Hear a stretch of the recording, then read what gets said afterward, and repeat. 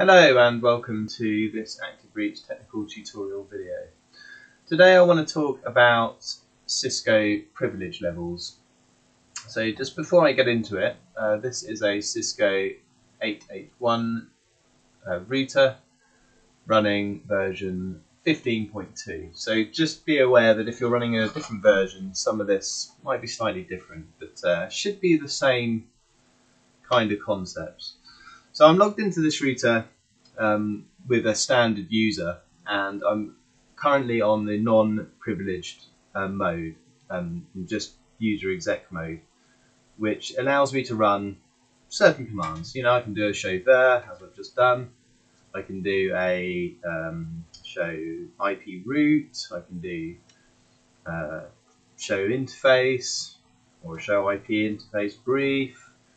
Um, you can run certain things from this level without entering um, enable mode.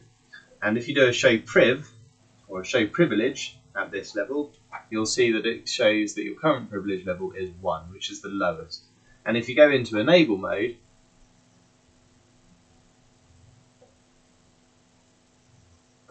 and do a show priv, you'll see that it is taking me from level 1 to level 15 and that's the default levels on a Cisco device from 1 at the lowest through to 15 at the, at the high end. So what we can do, if we want, is we can add levels in between that. Um, so if we add a new user, let's go and into configure mode and add,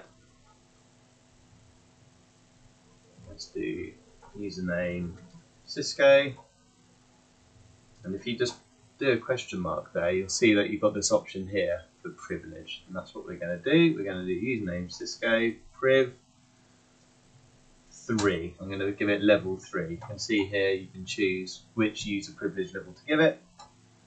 Once you've done that, you then need to put in the password, as usual. Okay, so I now have a new username that I've added. And if I come out of here and log in with that new user, it enters me into the the hash prompt, but that's not that doesn't mean that I'm at the top level.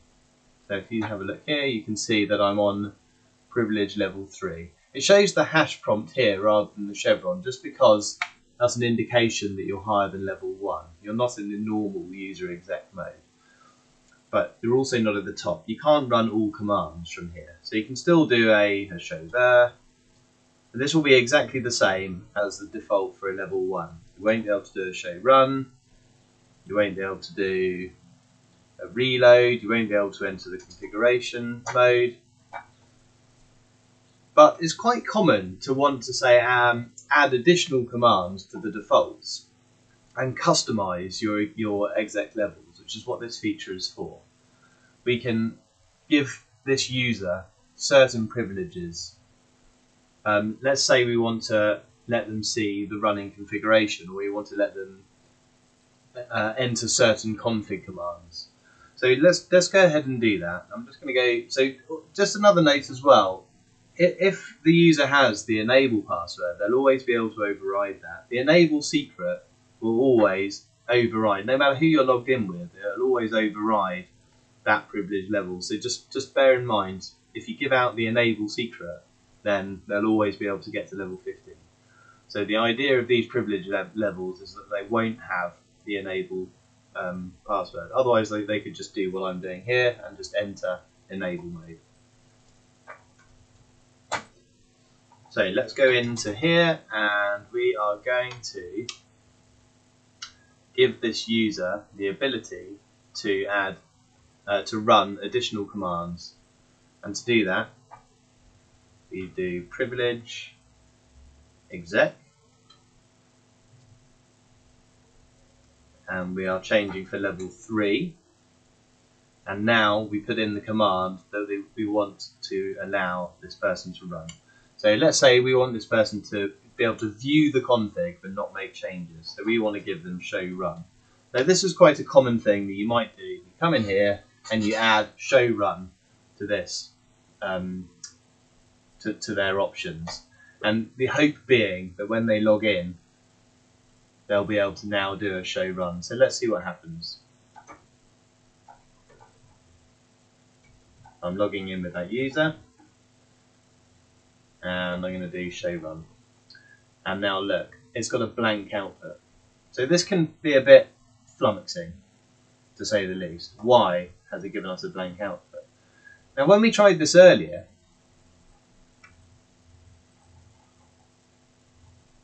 um, when we tried this earlier, wherever it was, there you go, you see that we actually got an invalid input detected. But this time, it's actually let us run that command and it's not given us an error. The command has run. So there is a difference between what it's done and what it did before. Before, it didn't allow that command at all, but now it has allowed that command. But why do we have blank output? So let's troubleshoot this further. Let's go back in to fully privileged mode.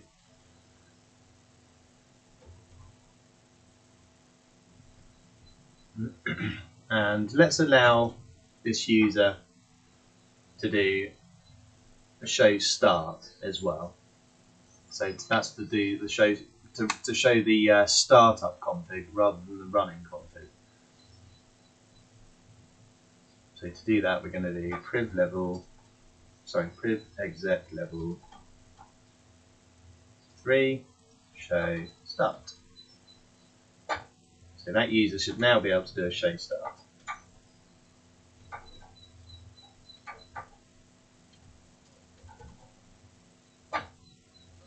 Ah, now, it's given us an error this time. Error opening NVRAM startup config permission denied.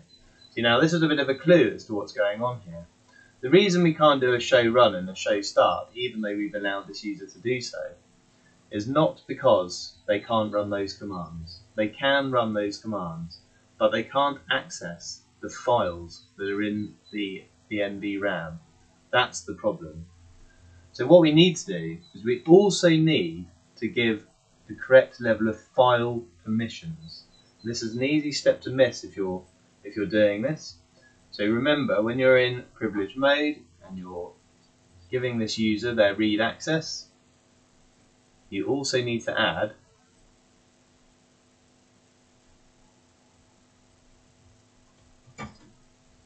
in conf mode file privilege level 3 or whatever level that you're changing. Yeah? That then allows them access to the files to view the config. So if you come back out of there, log in with our new user,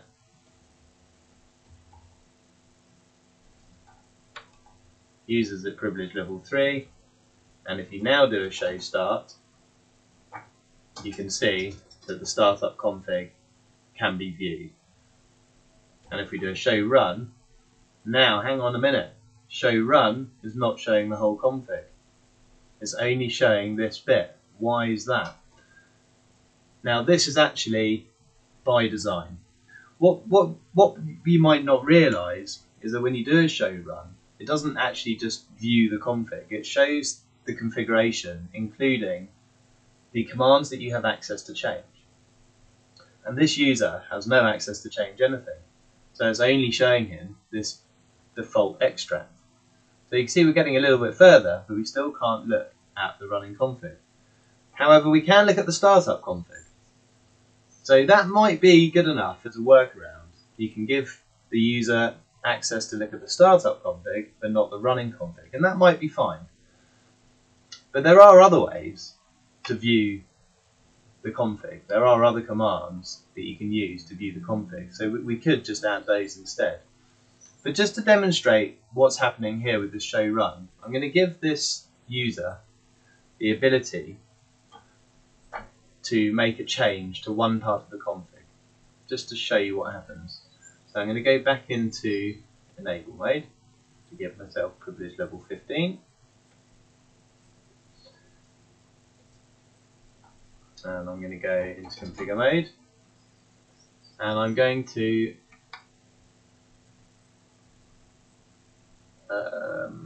I am going to give this user the ability to enter conf mode. So level 3 is now going to be able to go into conf mode. And I want to let this user only configure, so instead of the execute, we're going to do configure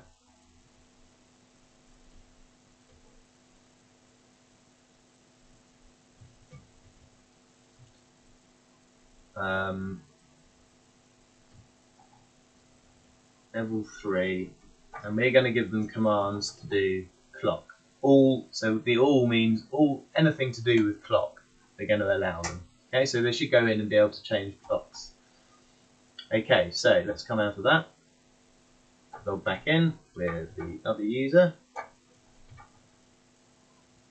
Now when you do the show run now you can see the difference is these commands are now appearing which didn't appear before.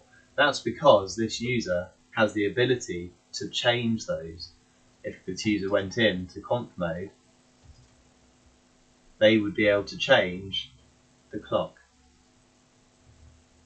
because we've allowed them to do so and that's why that shows up in the running config. So it's a bit confusing, it can be a bit misleading what's happened it might be preferable to say instead of doing uh, instead of doing giving them access to change things and, and, giving them access to view the startup config, say, well, how can I just let them look at the running config? Well, to do that, we are going to add. Am I still in? No, on, on, on the wrong one. Let's log back. Let's go back into full enable mode.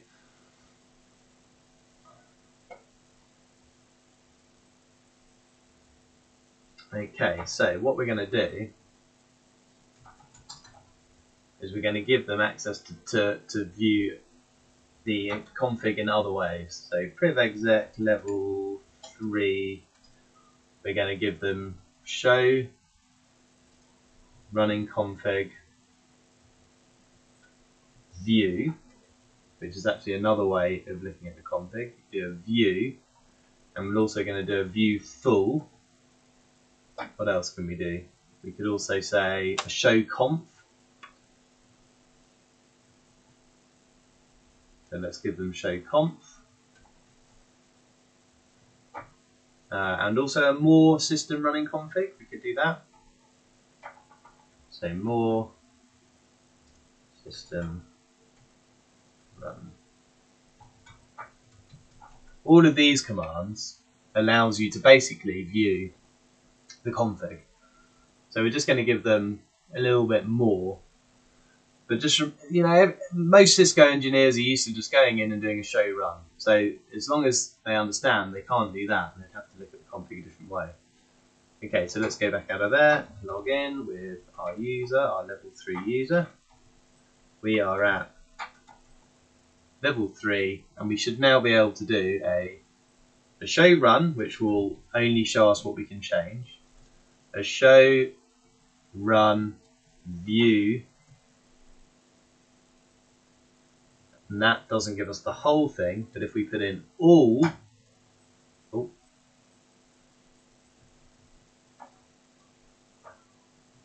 hmm, uh, show run oh sorry uh, I mean full. Get it right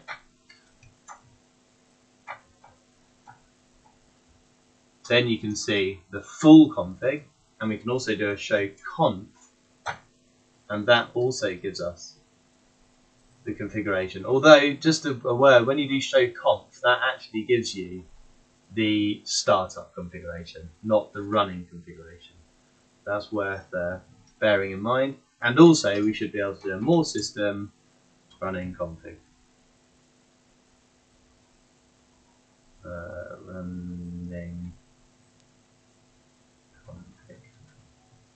like so. So there's several ways there which we can which we can view the config at a different level to the full level. And essentially what we're doing is we're giving a user read-only access to the configuration of your device. So hopefully that's been helpful. Another uh, point just to point out, at the moment we're looking at this in um, the not the AAA new model. We are on no AAA new model. So the logging, the logins can change if you're using the new model. Um, and if you are wanting to do it with the new model, you do have to make sure there's a subset of commands that you need to enter, um, just so that you're aware. If you just go in and do new model, it can actually make things, it's, it's a bit weird, it's like a bit of a bug actually. I'll just demonstrate what I mean. If you go into enable mode, let's go back to level 15, change this to AAA new model,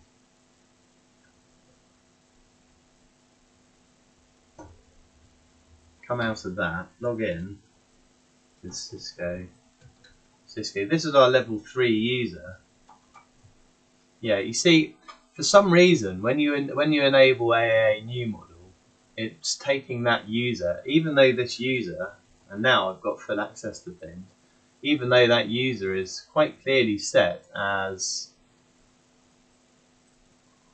privilege 3, even though that user is set to privilege 3, when you log in, if you don't configure the AAA new model properly, then there's this little bit of a glitch on there. You need to put in these additional um,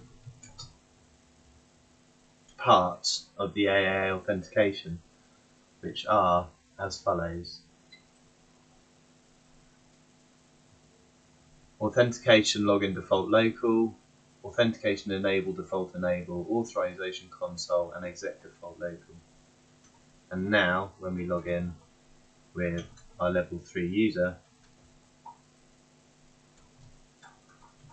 they'll be correctly set to the privilege level 3. So that's quite important just to make sure if you're using a new model, you do need those additional commands in there. Otherwise, as previously shown, if you're using no AAA new model, then it works um, just the same as well. So hopefully that's been helpful to you. Thank you very much for watching. If you've got any additions, you can add them in the comments. Um, I know there are other ways of doing this. There are different levels to the enable secret, I believe, which I, I haven't done in this lab, but maybe another day.